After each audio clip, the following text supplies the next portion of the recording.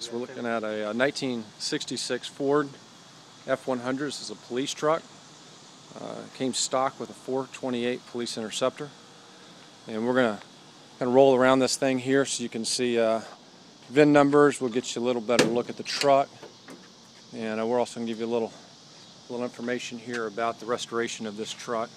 So what do we have here on And, the uh, plate? Well, the VIN shows you what the engine came in from the factory, which is the fourth digit is a P series, which is a P engine, is a 428 Police Interceptor. The D designate what plant it was built in, which was Dallas, and designation uh, of where it was sent was the Dallas area.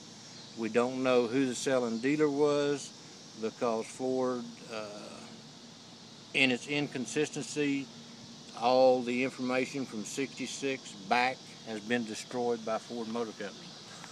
Uh, because there was inconsistency on units and what engines were built. Uh, so they did away with it to keep out of lawsuits. This thing is And Awesome. it does have a few added options. Of course, it's got it's got a right-hand sun visor, which was an option. It's got a right-hand rear view mirror, which is an option. Uh, it does have power brakes, which was an option.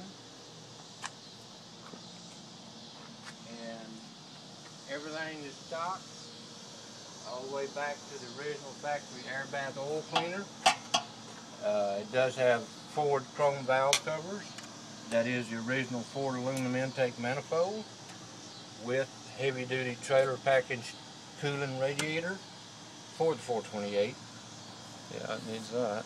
And of course the add-on was, uh, like I say, there's your factory windshield washer bottle right there.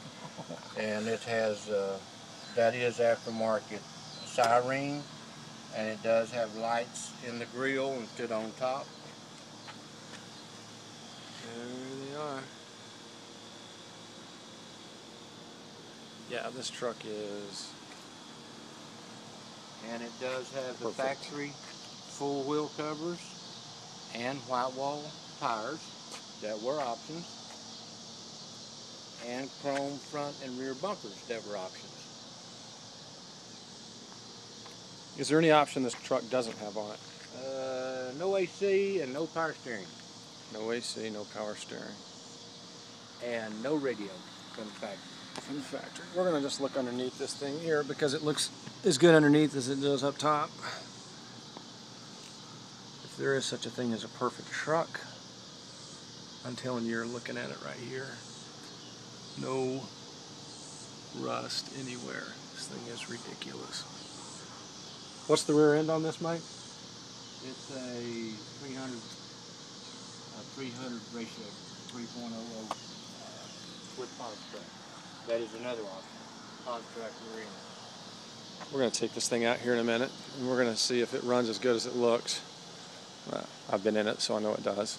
It's uh, it's quite fast. yeah. That is a perfect truck.